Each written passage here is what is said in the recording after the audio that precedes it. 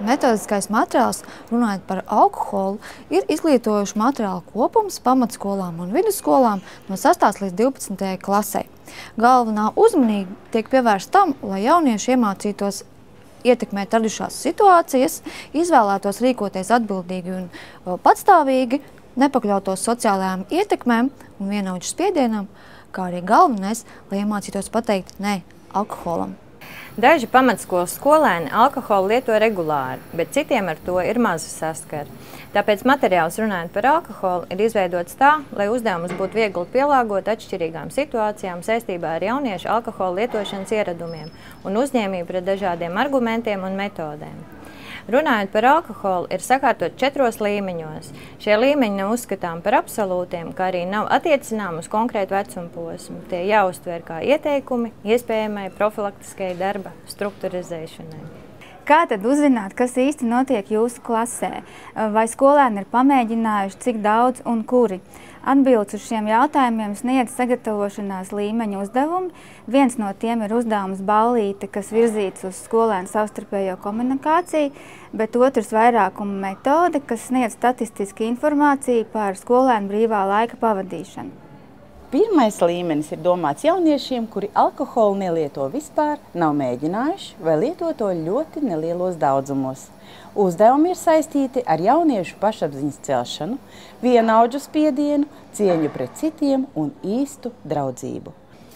Otrais līmenis ir paredzēts jauniešiem, kuri alkoholu ir pamēģinājuši.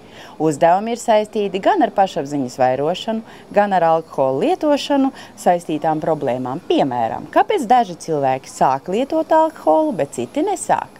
Alkohola lietošanas sekas, iespējamie draudi un tā tālāk. Uzdevumi piedāvā scenārijus, kādos varētu nonākt jaunieši. Trešais līmenis ir domāts jauniešiem, kuri regulāri lieto alkoholu, kā arī aktīvi meklē informāciju un apspriež problēmas alkohola lietošanas sakarā. Uzdevumi ietver diskusijas par riskiem saistībā ar alkohola lietošanu, e, paņēmienu skolēns māca skolēnu, juridiskajiem aspektiem, satiksmes drošību, ķermeni un veselību. Visiem uzdevumiem ir vienāda struktūra, kas palīdz atrast sev nepieciešamo informāciju. Sākumā rāmī ir sniegta informācija par aptuveno nodarbības ilgumu, materiāliem un nepieciešamajiem sagatavošanas darbiem, kā arī nolūk.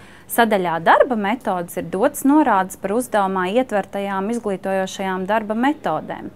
Sadaļā īstenošana ir detalizēts uzdevuma pakāpenisks īstenošanas apraksts, palīga materiālu skolotājiem, satura materiālus, palīga materiālu skolotājiem uzdevumu īstenošanai, saprotamā un kvalitatīvā veidā. Šie materiāli ir paredzēti skolotāju sagatavošanai uzdevumiem, kā arī sniedz papildus informāciju par uzdevumā minēto tēmu. Šie materiāli nav paredzēti skolēniem materiāli runājot par alkoholu, citiem pedagogiem ieteiktu lietot, jo tas ir viegli saprotams, tas ir palīgs, vakarā es izlasu un no rīta jau varu iet un vadīt nodarbību, ir visi soļi pakāpeniski sakārtot un nav jāiesprings domājot tieši kādas metodes vai kā, kā padarīt interesantāku klases stundu. Šis ir materiāls, kur noteikti iesaku lietot arī tev. Es šo materiālu ieteiktu lietot tādēļ, ka viņš ir ideāli sakārtots par līmeņiem, ar visiem uzdevumiem, anketām, instrukcijām. Skolotājiem atliek iepazīties, iet klasē un strādāt. Šo grāmatu runājot par alkoholu, es ieteiktu citiem skolotājiem, jo tā satur sevī daudz informācijas un daudzveidīgas metodes.